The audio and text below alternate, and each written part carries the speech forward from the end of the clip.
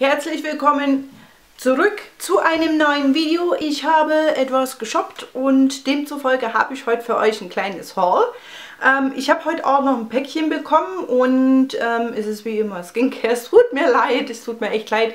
Ich werde versuchen, mich in Zukunft zu bessern und euch mehr Make-up zu zeigen, weil, ähm, seien wir ehrlich, das interessiert uns ja letzten Endes doch sehr viel mehr. Und ich würde euch auch sehr gerne diese Too Faced Sweet Peach Palette zeigen, aber irgendwie, ja, well, das ist eine andere Geschichte.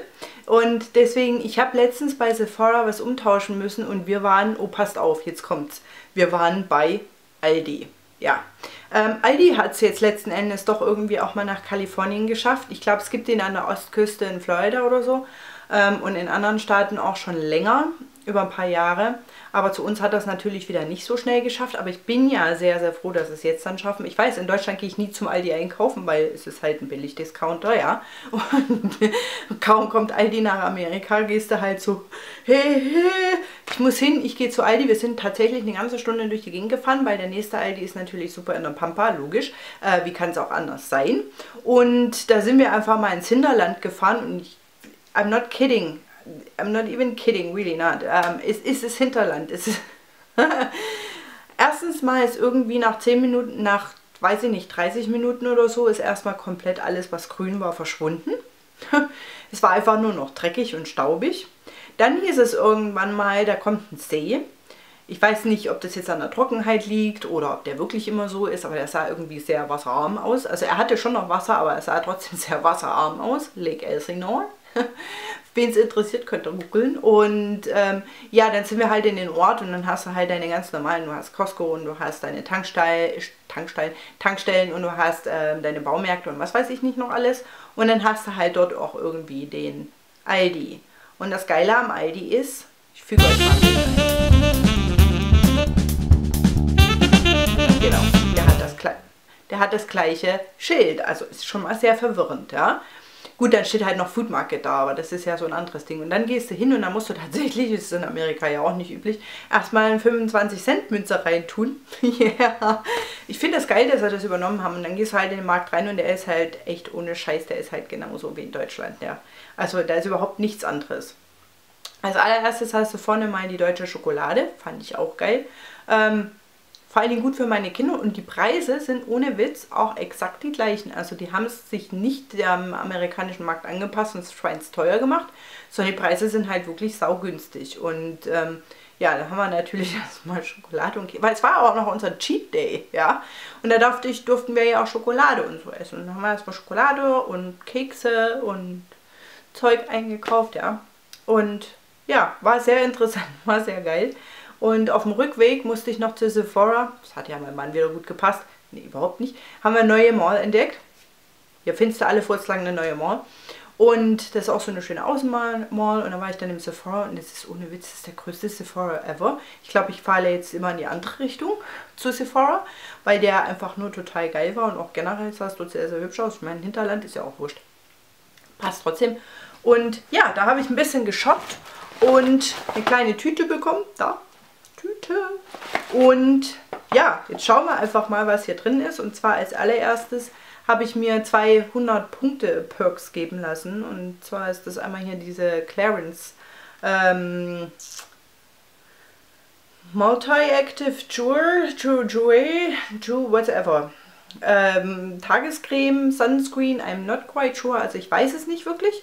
Es steht auf der einen Seite drauf äh, Antioxidant Day Cream und auf der anderen Seite aber ganz groß Sunscreen. Also vielleicht beides in einem. Ich habe es jetzt zweimal benutzt. Einmal, weil ich vergessen habe, ähm, Creme drauf zu machen. Und beim anderen Mal wollte ich sie benutzen und dachte, es ist ein Sunscreen. Und dann war die aber sau trocken und die riecht parfümiert ohne Ende. Und auf der anderen Seite war noch Sonnencreme und irgendwie voll nicht so mein Ding. Und ähm, ja, so 15 Milliliter drin, ich weiß es nicht. Ähm, bin jetzt nicht so saubegeistert davon. Aber ja. Und dann habe ich noch eins mitgenommen, und zwar ist es von Driver, das Bay Breeze. Ähm, ist ein Hydrating Shot, den habe ich noch nicht benutzt, weil ich dachte, das kann man öfter benutzen. Nein, man muss die komplette Flasche ins Haar geben nach dem Haare waschen. Quasi wie eine Art Conditioner und ähm, dann muss man es auswaschen. Also ich glaube nicht, dass ich mir so eine Sache kaufe, weil dafür ist es mir dann irgendwie ein bisschen zu teuer. Ich glaube, da werde ich dann wahrscheinlich doch lieber ähm, Conditioner nehmen, ja. Ähm, ich weiß gar nicht, nach was das riecht. Naja, jetzt auch nicht so prickelnd, aber werden es probieren. Es war ja umsonst. Dann habe ich endlich an einer äh, Checkout-Dingens da mitgenommen, auch blöd. Ähm, das hier von Make Coop. Coop, Make Coop. Äh, das ist die Raw Sauce. Das ist ein Hydrating Nourishing Essence. Und das kleine Ding kam 14 Dollar. Und ich glaube, das schaffe ich zurück. Weil ähm, ich habe nie auf die Ingredients geguckt und das mache ich meistens, weil ich auch so doof bin, eigentlich immer erst, bevor ich es mir ins Gesicht schmiere. Und das habe ich dann gemacht. Die Bottle ist schön, die finde ich toll. Ähm, aber das Ding ist, da ist ähm, Alkohol drin und nicht der gute, sondern der schlechte Alkohol. Und zweitens ist Parfüm drin. Und ja, es riecht auch sehr parfümig und ich muss sagen, irgendwie Parfüm ist ja auch so eine Sache, die die Haut extrem schnell reizen kann und hinten raus dann eigentlich auch eher so die Kollagenproduktion quasi vernichtet und sie nicht aufbaut und ähm, wenn das jetzt Sinn macht und ähm, ja, demzufolge nicht wirklich so gut ist. Und der Alkohol, der drin ist, der macht im Prinzip exakt genau das Gegenteil von dem, was das soll. Äh, der hydratet nicht, der entzieht der Haut die Feuchtigkeit und dann hast du hinaus ähm, eine absolut nicht wirklich, ja, das ist einfach sinnlos, das Produkt. Komplett für den Arsch. Das Geld, reine Geldschneiderei und deswegen, ja, wahrscheinlich geht es jetzt dann zurück. Ja. Ich muss eh zu Ikea und das bleibt die nächste Mal in der Nähe. Logisch. Und deswegen bin ich dann überhaupt hingegangen. Ich habe mir einen äh, Lippenstift gekauft von Byte. Und zwar ist es dies, einer von diesen neuen äh, Muse Bush Lipsticks in der Farbe Sugarcane. Und die Farbe finde ich richtig geil. Also die haben auch richtig, richtig coole Farben. Eine saugute Auswahl. Und das Allergeilste war, in diesem Sephora war wirklich mal alles voll. Ich habe das noch nie gesehen. Also in der ganzen Zeit, die ich jetzt in Amerika wohne, ich habe es noch nie gesehen, dass da alles voll war. Aber es war alles voll. Es war richtig genial aufgestapelt. Und ähm, ja, die haben halt richtig geile Farben. Und das ist die Farbe. Habt ihr da mal geswatcht? Das ist ein richtig tolles, so Rose Pink. Eher so ein, wirklich so meine Lippen nur schöner Farbe. Ich habe da so ein Thema laufen. Meine Lippen aber schöner. Ist fast jeder meiner Lippenstifte, es sei denn, ich habe Atemnotlippenstift dran. Ich weiß, der ist nicht so, aber den muss man halt auch mal tragen. Ne? Und der riecht total so ein bisschen nach äh, Zitrone. Zitronen, ja, manche haben gesagt Zitronenkuchen, finde ich jetzt immer nicht. Eher so ein bisschen leicht nach Zitrone, aber man merkt es halt nicht auf den Lippen.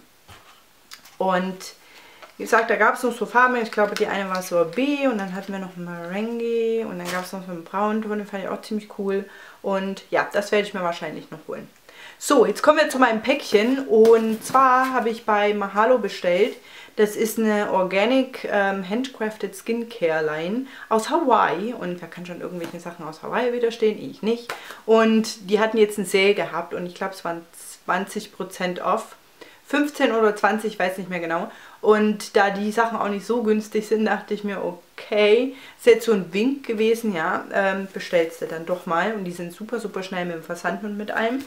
Und ähm, hier, man bekommt hier so ein kleines Booklet, da sind dann die ganzen ähm, Sachen drin, die sie haben, mit Beschreibung und ähm, Ingredient-Liste, was ich immer gut finde, ist für mich gut, und für welche Skin-Types es ist, etc. Und dann kam diese kleine Box, also wie gesagt, es kam erst heute, ich habe noch gar nichts benutzt. Und ich finde es sehr schön, die haben hier vorne da noch so ein Dings drauf gemacht, es war in einem Umschlag, keine Angst. Und dann macht man es hier auf und dann ist hier auch nochmal der Name drauf und dann hat man halt, hier war das schön zu. Und dann, das finde ich nämlich geil, habe ich zwei Proben bestellt. Also ich habe einfach in den Comments gefragt, ob ich zwei Proben haben kann, haben kann und habe die bekommen. Und zwar guckt euch mal den Container an. Ist das nicht geil? Das, ich finde das so schön. Ich habe noch nie Proben in solchen Containern bekommen. Ich war mir erst nicht so ganz sicher, was ist das jetzt? Und ja, das hier ist der Indigo Balm, nee, Rare Indigo Balm. Das ist quasi so ein Balm, also der wird flüssig, der wird zu so einem Öl, also das ist ein festes Öl quasi. Wenn man ihn zwischen die Finger nimmt, wird er äh, weich. Und dann kann man ihn, ähm, der soll quasi heilen und die Haut beruhigen. Und wenn man Pickel hat, soll das gut sein. Der ist anti-inflammatory und sonst was. Und durch mal die Größe an, ich finde das total geil. Das reicht mir ein halbes Jahr. Und dann habe ich noch bekommen das Vitality Elixir Facial Serum. Das sind 3 Milliliter drin. Und es ist so süß. Ich habe erst gebraucht, bis ich wusste, wie es aufgeht. Aber es ist ein kleiner Rollerball. Und Riecht auch sehr gesund. Das werde ich auch ausprobieren. Und dann haben wir noch die Maske und die kommt mit so einem Holzspaten, äh, nein, Löffel, mit einem Holzlöffel. Finde ich saugeil. Und das ist dann die Maske. Tada! Ist der Container nicht schön? Sieht, finde ich, sehr, sehr schön aus. Dieses Holz ringsrum und ja, nennt sich The Pedal Mask. Und das Ding, also es ist ein bisschen hier ausgelaufen, aber es geht. Ähm, sieht so aus. Das ist so eine Gelmaske quasi. Und die riecht nach Rosen. Die riecht so, so gut nach Rosen. Das ist unglaublich. Ich finde diese Maske einfach, ich liebe sie.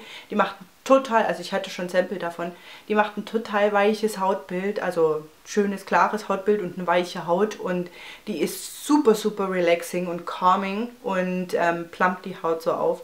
Also total geiles Ding. Jo. Ich lasse einfach mal den Link zu der Seite unten in der Infobox, könnt ihr mal nachgucken.